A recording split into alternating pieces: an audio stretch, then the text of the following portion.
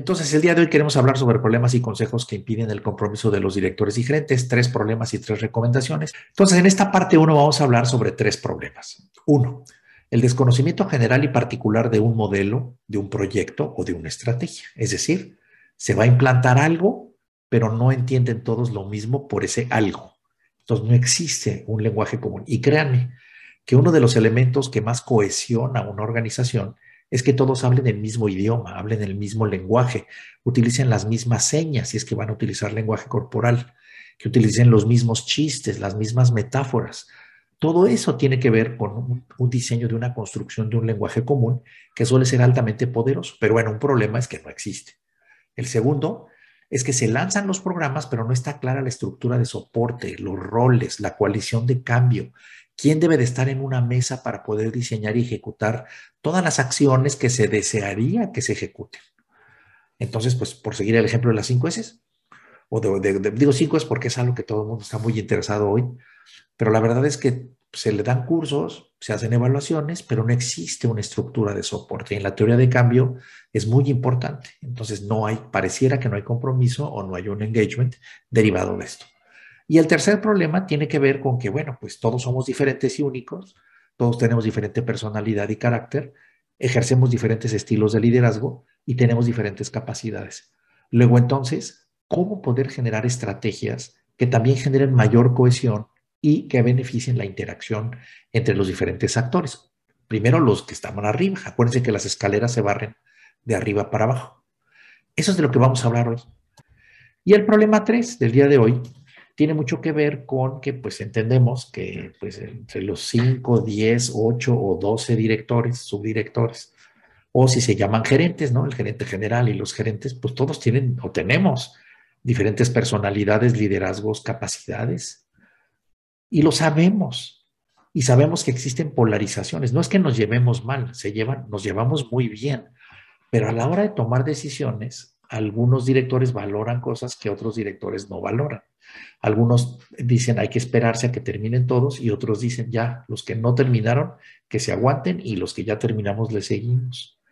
Los que ponderan, por ejemplo, el, eh, el, el ser más extrovertidos, ser más vigilantes del entorno y los que prefieren estar viendo más hacia adentro, ver el sistema, pues todo esto genera diferentes dinámicas. Pero el problema es que hoy no se mide. Se sabe que existen diferentes diferencias entre los directores o entre los gerentes o entre el equipo directivo y el equipo gerencial, pero no se mide esa interacción, no se está midiendo la efectividad de esa interacción. Entonces, eh, lo que normalmente se hace es que sí se mide, por ejemplo, se mide con un instrumento de personalidad a cada uno de los directores. Cada uno de los directores se aplica un assessment, como hay muchos muy buenos para que se lo hagan. Pero ¿cuál creen que es la solución? Se le da coaching. Yo no estoy en contra del coaching, al contrario, es muy bueno. Pero el coaching se da individual. Entonces, lo que, el paradigma que se está trabajando es específicamente el de tratar de perfeccionar a, una, a un individuo. Es decir, todos los directores y todos los gerentes se hacen su evaluación y los puntos débiles que tiene cada director se les da una asesoría, un coaching, un mentoring, ¿no? Algo inclusive terapéutico. Y lo que se busca es tener a los mejores individuos o personas, bajo el paradigma de que si yo tengo a los mejores, la suma de los mejores me va a dar la mejor empresa. Pero eso, desde el punto de vista del, del enfoque de sistemas, es falso.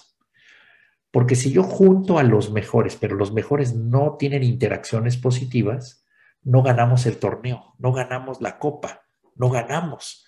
En este caso, eh, no tenemos los mejores indicadores como equipo. Tenemos otros webinars donde hablamos de eso. ¿Cómo podemos demostrar que si todas las áreas cumplen al 90% y están encadenadas todas las áreas, pues no se saca el promedio, la empresa no está al 90%. La empresa está por debajo del 50%, aunque cada área esté cumpliendo al 90% porque se hace una multiplicación, no se hace una suma y luego un promedio.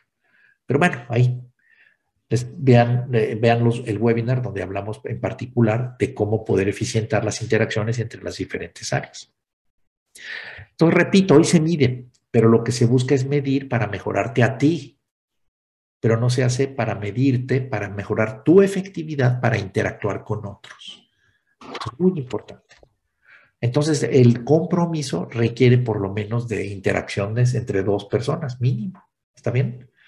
Entonces, si yo soy un área y tengo 10 directores, pues yo necesito que los 10 directores interactúen entre ellos, pero también necesito la interacción entre los directores y nosotros los gerentes o los gerentes con sus jefaturas.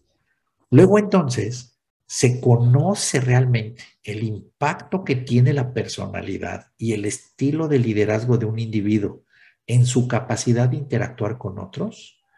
Y mi respuesta en general es no.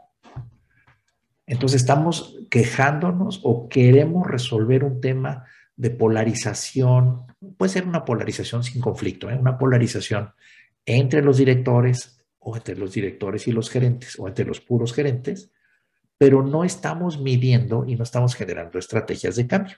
Acuérdense que lo que no se mide no se conoce, no se controla y por lo tanto no se puede mejorar. Entonces, pensamos que así es cada quien y hay que aceptar como cada quien es. En eso estoy de acuerdo. Pero si todos buscamos mejorar nuestra capacidad de interactuar entre nosotros, no importa cómo es cada quien, no importa cómo sea un conflicto, a la hora de tener visión común, vamos a ir todos juntos. Tenemos que aprender a trabajar juntos. Y esto parte básicamente de una buena medición.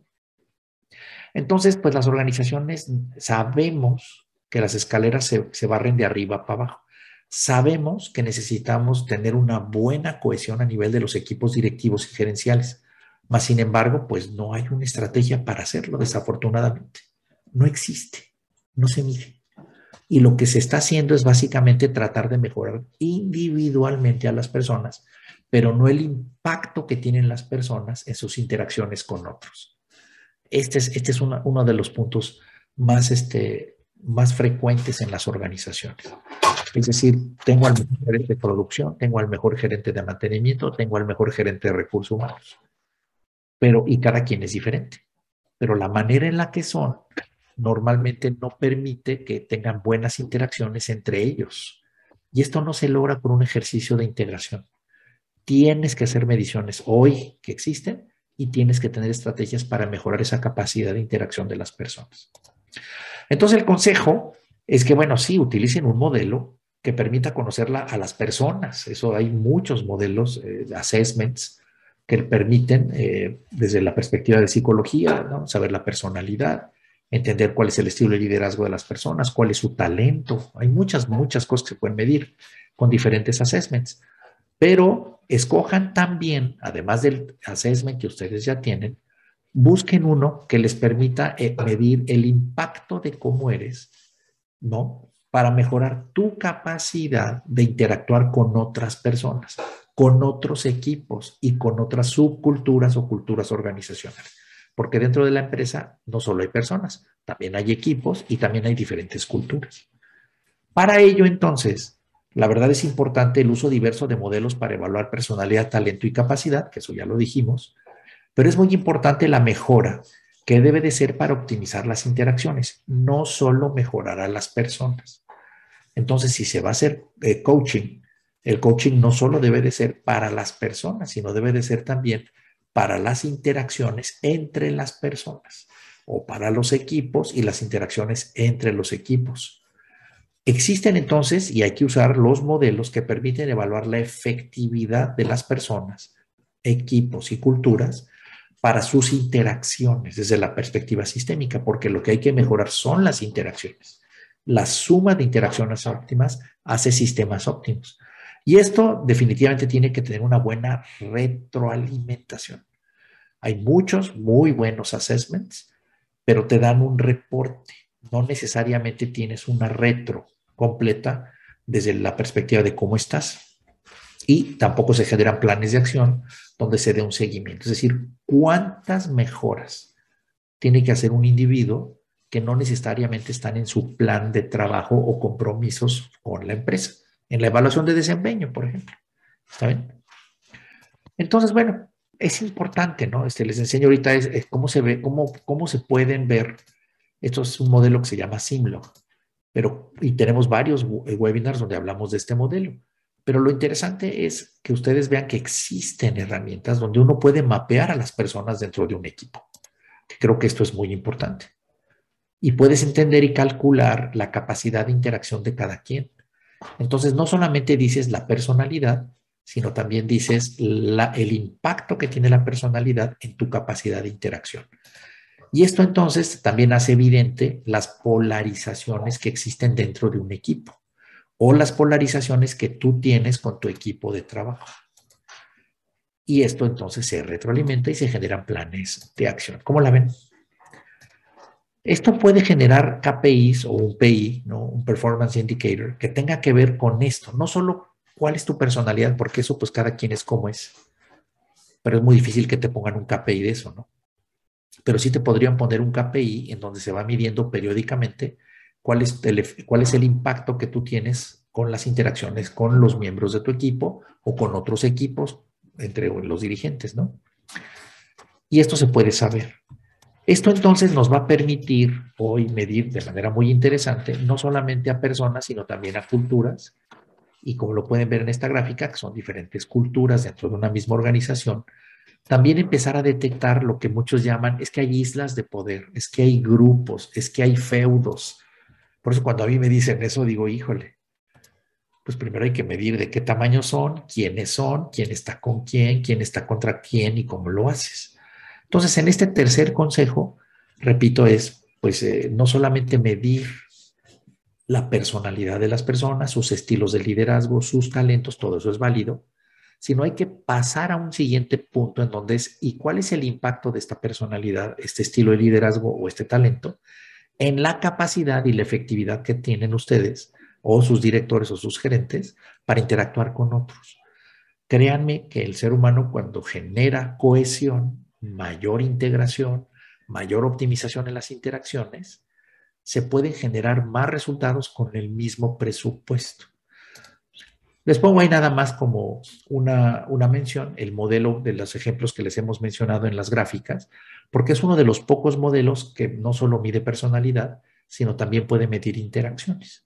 Y esto pues, es utilizado por muchas organizaciones hoy.